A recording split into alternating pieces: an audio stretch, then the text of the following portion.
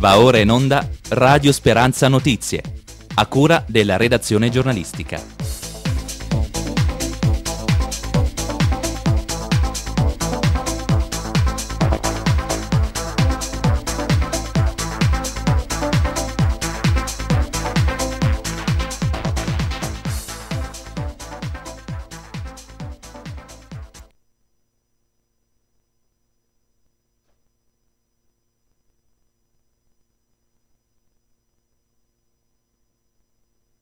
Un cordiale saluto a tutti da Massimiliano Spiriticchio al microfono, Natascia alla parte tecnica e da tutti noi di Radio Speranza in blu, la radio della Chiesa metropolitana di Pescara Penne. Eh, L'Abruzzo non è più la penultima regione italiana nella classifica degli enti con spesa virtuosa per l'agricoltura è quanto emerge dai risultati trasmessi ieri dall'organismo pagatore del Ministero dell'Agricoltura, la GEA.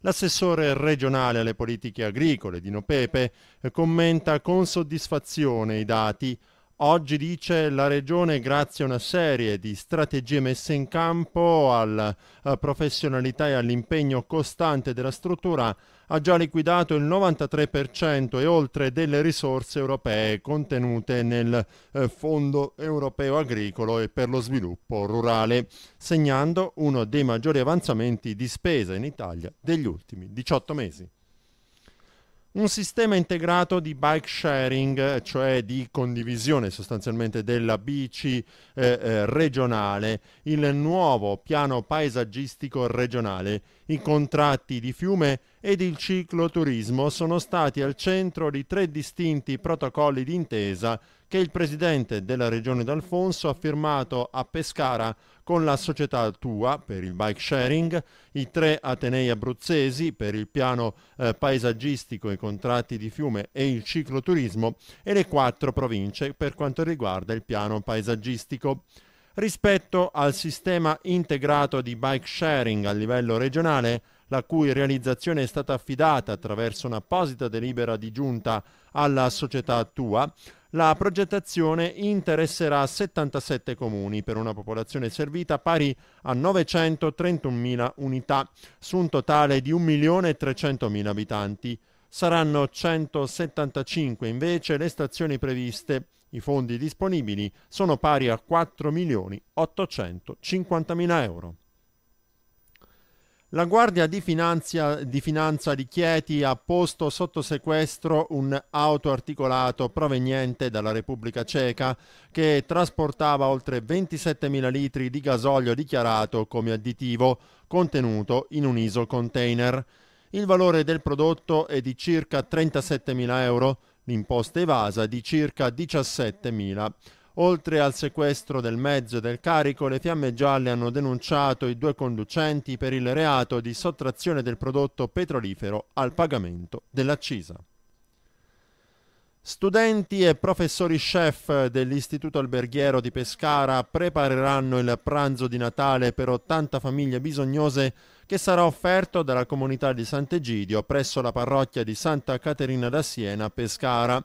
L'annuncio è arrivato oggi durante l'assemblea d'istituto nella quale sono stati anche annunciati la riapertura dei laboratori di Via Tirino il 7 gennaio e l'avvio dei lavori per la ristrutturazione dei locali dell'ex palestra di Via Italica. Ne parleremo a servizio interviste. In queste settimane la provincia sta procedendo sulla base di numerosi sopralluoghi effettuati nel corso dell'estate scorsa e concordati con il proprietario dell'immobile e con il dirigente scolastico interessati all'esecuzione ex novo dell'impianto elettrico e alla messa in sicurezza degli infissi. Lo precisa la provincia di Pescara dopo l'articolo pubblicato sulla pagina di Montesilvano del quotidiano Il Centro, in cui si evidenzia lo stato di degrado in cui versa l'edificio scolastico Alessandrini. L'istituzione bibliotecaria provinciale sarà dotata di wifi e di 5 nuovi computer a disposizione del pubblico. La provincia di Pescara e la biblioteca hanno realizzato infatti un miglioramento atteso da tempo sui propri PC portatili forniti di scheda di rete, i frequentatori della biblioteca potranno accedere al web senza restrizioni orarie. Eh, flat dunque 24 ore su 24 e quindi per tutte le ore di apertura al pubblico della struttura dalle 8.30 alle 19.30 da lunedì al venerdì e dalle 8.30 alle 13.30 il sabato con attivazione di card elettronica con password personale da richiedere alla distribuzione libraria e poi registrandosi online alla rete wifi della biblioteca. A Pescara senso unico alternato su strada del palazzo per consentire i lavori di manutenzione straordinaria previsti sulla strada e che richiedono il restringimento della carreggiata dal 21 dicembre al 4 febbraio. La politica, come richiesto dal presidente Silvio Berlusconi, anche l'Abruzzo adegua i suoi organi eh, di eh, vertice eh, alle indicazioni che puntano al rilancio e alla ripartenza dell'attività politica di Forza Italia. Il presidente del comitato eh, regionale abruzzese, Nazario Pagano, ne ha dato notizia nella prima riunione del nuovo comitato lunedì scorso a Pescara. Sono stati nominati i responsabili regionali di settore Luca Saraceni per l'organizzazione, Maurizio Brucchi, sindaco di Teramo per gli enti locali, Emilio Nasuti per i dipartimenti, Antonio Morgante per la comunicazione e l'immagine ed Eugenio Seccia per la formazione.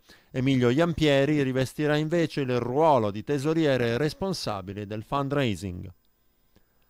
Si terrà stasera alle 20.30 nella chiesa dello Spirito Santo di Pescara il concerto organizzato dalla LILT, la Lega Italiana Lotta ai Tumori, per sensibilizzare proprio sulle iniziative di contrasto ai tumori. Nel pomeriggio alle 18 è invece prevista la celebrazione eucaristica presieduta sempre nella chiesa pescarese dello Spirito Santo da Sua Eccellenza Monsignor Tommaso Valentinetti, arcivescovo di Pescara Penne. Siamo alle previsioni del tempo. Stasera su Pescara e provincia si prevede cielo da poco nuvoloso a nuvoloso con temperature da 8 a 9 gradi sulla costa dove si prevede anche foschia in tarda serata e di circa 7 gradi nelle zone interne e venti deboli.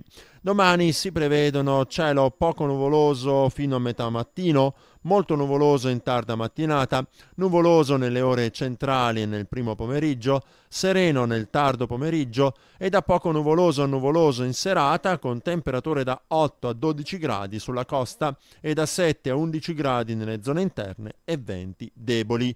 Il mare è previsto quasi calmo stasera e poco mosso domani. Con queste previsioni noi concludiamo questa edizione del nostro radiogiornale. Da Massimiliano Spiriticchio al microfono, Natascia alla parte tecnica e da tutti noi di Radio Speranza in Blu, la radio della Chiesa Metropolitana di Pescara Penne. Grazie e a risentirci.